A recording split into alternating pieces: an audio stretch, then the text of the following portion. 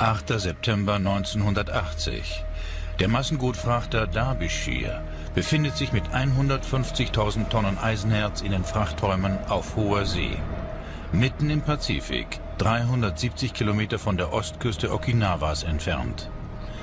Die Derbyshire ist ein riesiges Schiff, über 300 Meter lang, doppelt so groß wie die Titanic und erst vier Jahre alt. Ein Gigant der Meere, auf dem sich die Besatzung auch im stärksten Sturm gut aufgehoben fühlen sollte. Am 9. September verschwindet die Derbyshire mit ihrer gesamten Besatzung. Das bislang größte britische Schiff, das auf See blieb. Und niemand fand eine Erklärung für ihr Verschwinden.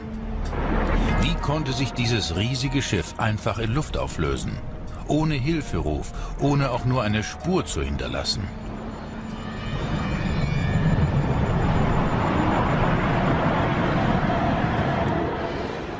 In Japan kursieren Legenden von unbekannten Kräften, die auch das stärkste Schiff überwältigen können. Von riesigen Meerungeheuern, die Seeleute in den Tod ziehen.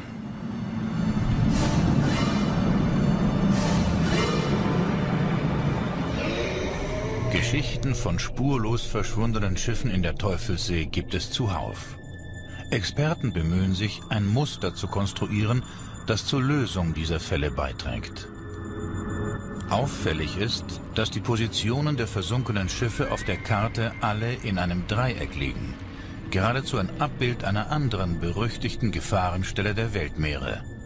Zwar auf der anderen Seite der Erdkugel, aber auf demselben Längengrad wie die Teufelssee liegt das Bermuda-Dreieck. Nur ein Zufall?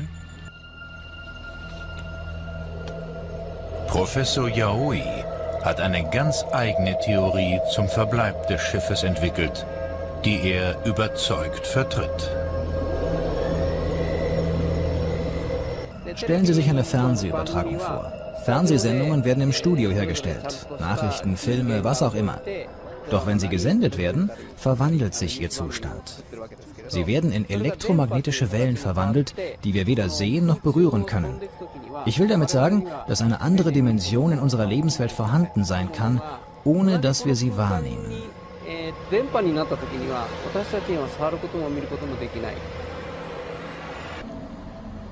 Einer von vielen Berichten, der die Teufelssee mit übernatürlichen Ereignissen in Verbindung bringt und somit ihrem sagenumwobenen Ruf neue Nahrung gibt.